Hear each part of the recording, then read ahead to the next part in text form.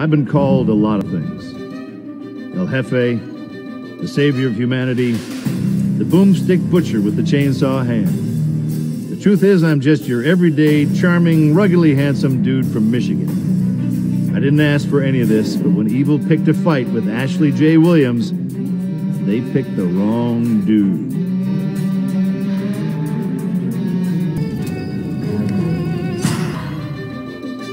The Castle of Kandar is an obsession for my dad. I guess that's where I picked it up. We were exploring the castle's rear chamber when we found it. Naturom Demonto, the Book of the Dead. Mom and Dad took it back to their cabin to translate in peace. I stayed behind here at Kandar to find the missing pages.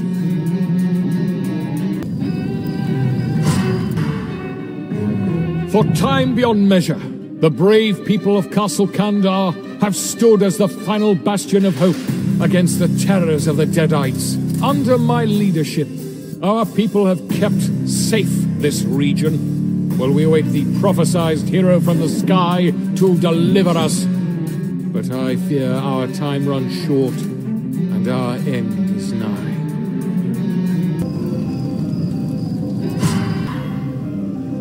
I had a real life once. A job, a car, a girlfriend. Together we drove to a cabin in the mountains. An archaeologist had come to this remote place to translate and study his latest find, Necronomicon Ex Mortis, the Book of the Dead. It was never meant for the world of the living. The book awoke something dark in the woods.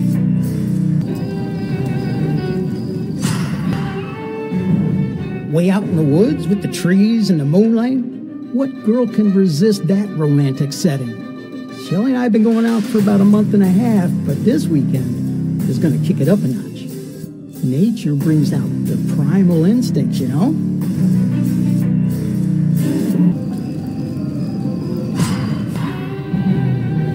As Lord of the Northlands, I've been witness to all measure of hazard and hardship, but nothing approaches the abomination that now threatens our land. At the behest of the hero from the sky, I will put aside my grievance with Arthur in the south. I will ride with my men into battle against evil itself. Blows, blood, and death, I say. I know I'm punching above my weight with Linda, but the important thing is she doesn't know it. Heck, she doesn't even realize that piece of crap necklace I gave her came out of a gumball machine. As an associate professor, to be invited to join Professor Knowby's expedition of Castle Kandar was the highlight of my career. I could never have imagined that it's also where I'd find the woman of my dreams.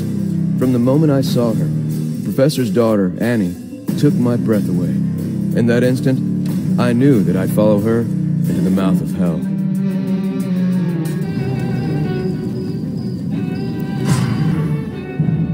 Value Stop was supposed to be a temporary layover for me, a pit stop to gas up and get my bearings before the magnificent future ahead. I don't plan anymore. I don't even think about the future. While everyone else dreams of peace on earth and puppies, my eyes are wide open to the evil closing in around us.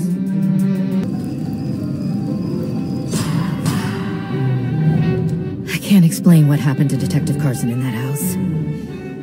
He was my partner, my friend, and then he was something else.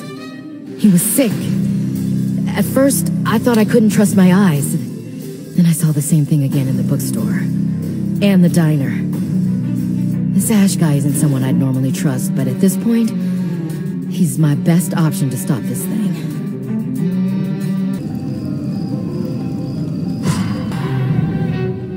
Delta, tuned up and gassed. Check. Suitcases, TV, football, and blankets in the trunk. Check. Map to the cabin? Check. Worthless magnifying glass necklace, boxed up like actual jewelry and in my pocket? Check. Linda's gonna love it. She'll never take it off.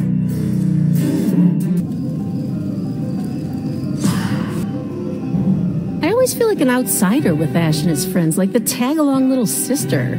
Scotty doesn't make it any easier, teasing me all the time. I don't even know why Ash likes him. Ash says this will be a fun weekend, but I don't know. Stuck in this creepy old cabin for a weekend with this group? I'll be glad when it's over.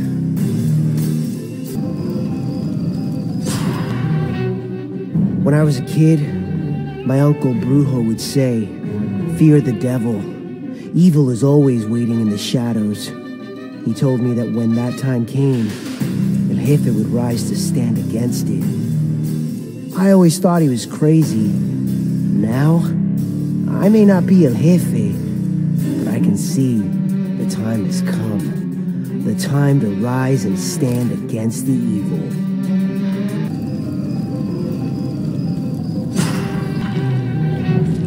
Fresh souls run scared in the night, and sweet Henrietta is hungry. Bring me to them, and I will do the rest.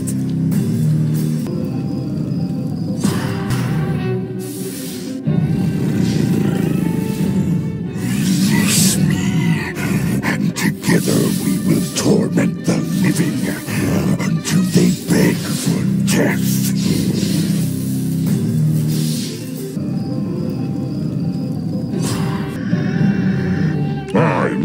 again. I shall command every worm-infested son of a bitch that ever died in battle.